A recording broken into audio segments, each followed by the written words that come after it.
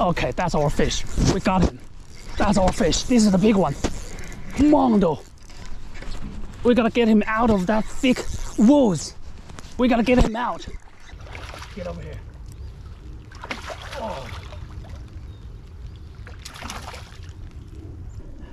Nice one. Oh. These guys, they are suspending on the top of water. It hits right as my base hits on the water. It did not sink at all. I mean, this is the best time you can use the top water. You can go. Oh, good fish. You can go.